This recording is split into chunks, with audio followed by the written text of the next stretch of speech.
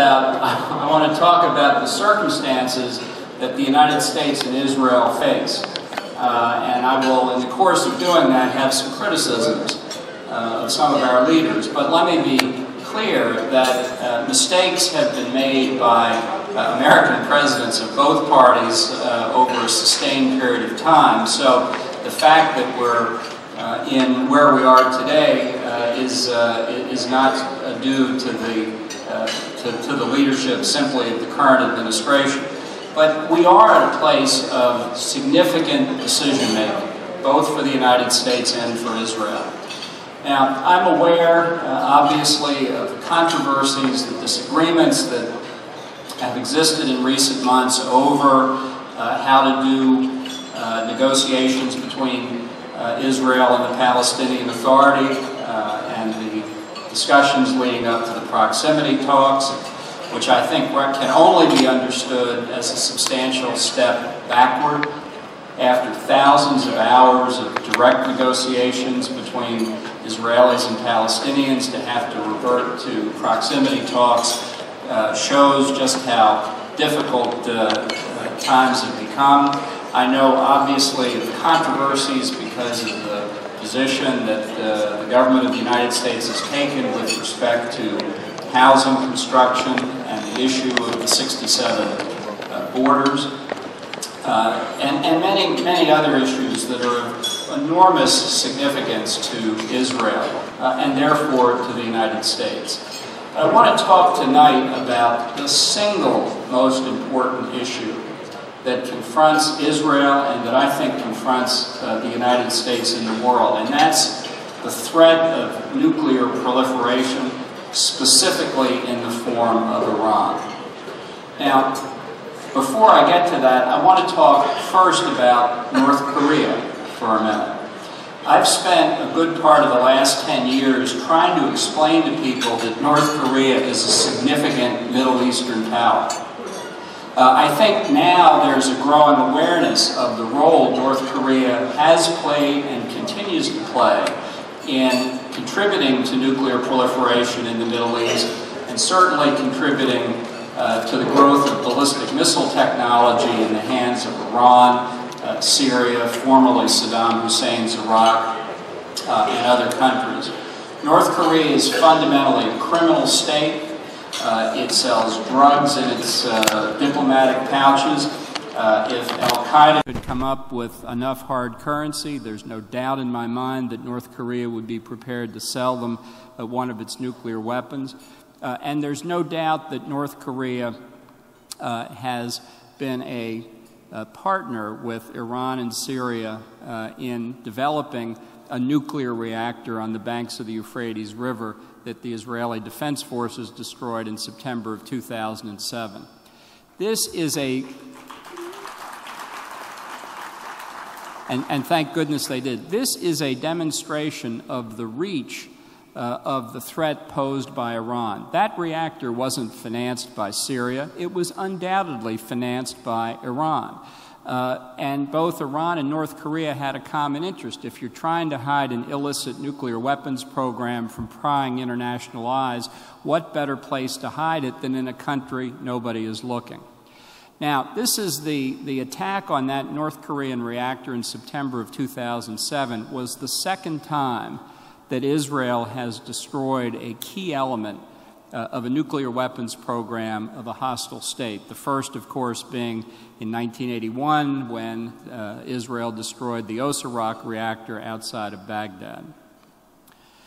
Uh, we are, uh, to be completely blunt, uh, at a point where a decision is going to have to be made in the very near future, in my view, whether uh, to take further preemptive action uh, against a threatening nuclear weapons program. This is a very unattractive choice for Israel to have to face. But it faces that choice, in my view, largely because of a, a sustained failure of policy by the United States. Both during the Bush administration and the Obama administration, and beginning really even uh, in the 1990s, uh, American policy centered on the theory that Iran could be negotiated out of its nuclear weapons program, a program it's now been pursuing for close to 20 years. Uh, diplomats from the United States, working with diplomats from Britain, France, and Germany, uh, wanted to offer Iran a package of carrots and sticks, of incentives and disincentives that would induce Iran uh, to give up its nuclear weapons program in exchange for a closer relationship with the West. This was always the thrust of the negotiations by our European friends, even though the United States did not take part directly. Uh, it has been plain uh, for some time that Iran is never going to be talked out of its nuclear weapons program. So, the alternative, looking at the disincentives, the sticks in the package that our diplomats had put together, uh, is now the predominant subject of conversation. But, ladies and gentlemen, we have tried the sticks before.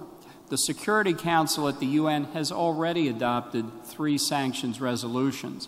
The United States has had unilateral sanctions on Iran for decades since the 1979 seizure of our hostages. The sanctions have not worked. Iran has been able to mitigate the effect of the sanctions uh, and compensate for them. So while it might once have been theoretically possible that a well conceived and thoroughly administered program of sanctions might have stopped Iran uh, from achieving its objective of deliverable nuclear weapons, those days are past. There are a lot of ideas, some uh, being considered in Congress now, about uh, further financial sanctions, keeping Iranian financial institutions out of international markets, about sanctions on Iran's importation of refined petroleum products. Uh, these are great ideas whose time has come and gone. Uh, all of these theoretically might have stopped Iran, but not anymore. I think if you look realistically at the circumstances we face, the most likely outcome in uh, the region today is that Iran gets nuclear weapons. Uh, my fear is that the administration uh, believes that, as undesirable as that might be, that we can live with a nuclear Iran, that we can contain and deter Iran. I think this is uh, this verges on the frivolous.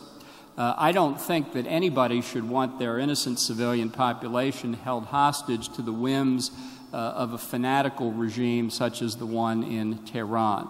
I don't think you can look at facile analogies to deterrence against the Soviet Union during the Cold War and believe that it will work today. The uh, mindsets of the leaders of the Soviet Union, uh, as it was then, and Iran are completely different.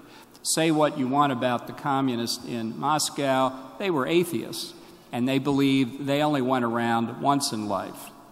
Uh, and they weren't about to throw it away too quickly. In Tehran, you have people who prize life in the hereafter more than they prize life on earth. This is a very difficult group of people to deter. The American view, we're a very diverse country. I've always thought the American view was summed up in the words of the Kenny Chesney uh, country and western song Everybody want to go to heaven, nobody want to go now. But that's not a theme that resonates in Tehran today.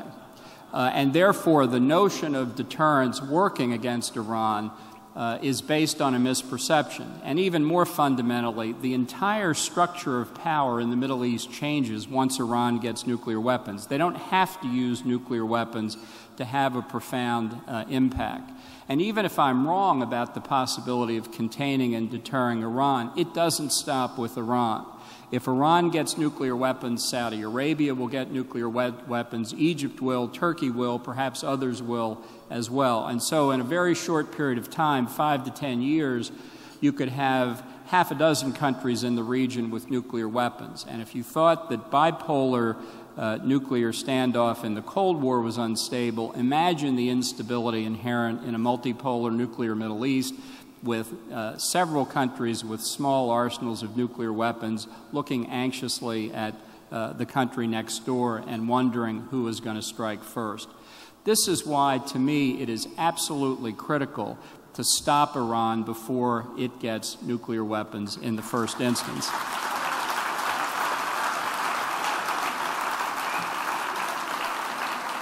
And, and that is why I feel uh, so frustrated uh, at having watched nearly 10 years go by uh, while Iran used the cover of diplomatic negotiations to make continued progress overcoming the enormous scientific and technological difficulties that stood in the way both of its nuclear weapons program and its ballistic missile program.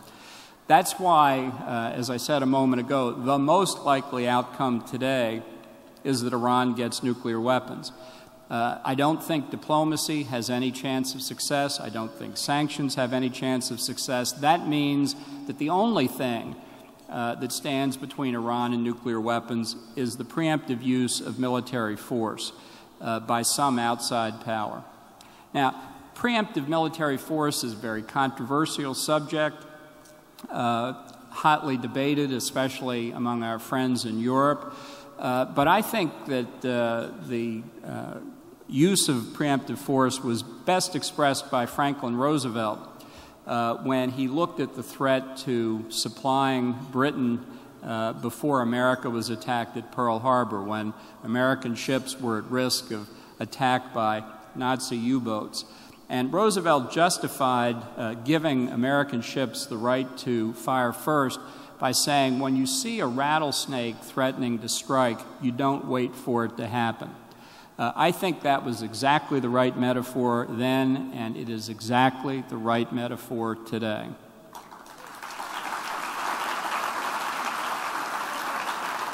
This, this, is, a, this is a very unpleasant conclusion. Uh, it puts an enormous burden on the state of Israel, enormous and unfair. It's extremely risky to contemplate the use of military force the outcome is not certain. And even if successful, it will not completely resolve the problem uh, of a nuclear Iran. It will uh, stop them from getting weapons for, I think, a, a multi year period, three, four years, during which a lot else is possible, including what I think the real uh, policy should be, which is regime change in Tehran. But it puts, it puts Israel in a very, very difficult place. And this is where I think uh, Israeli American citizens and all American citizens should begin to lay the groundwork now to uh, understand why Israel has come to that decision, if that's uh, what they decide, and to support Israel after the military strike.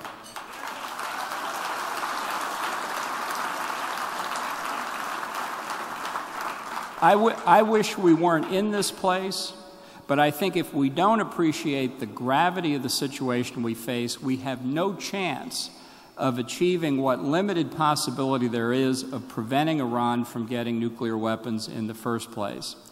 Uh, and that's why I think over the next several months it's going to be extremely important to make the case publicly that if Israel uh, does use military force, it will not be precipitate or disproportionate, that it will be Israel acting in its legitimate interest of self defense, and that that attack will also be in the interest of the United States.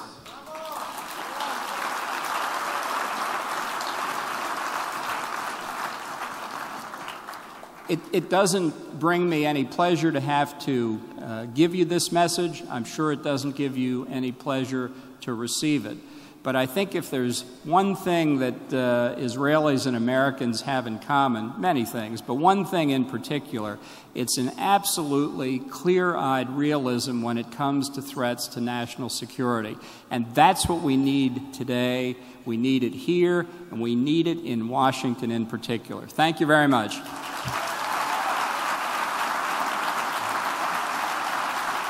Thank you very much.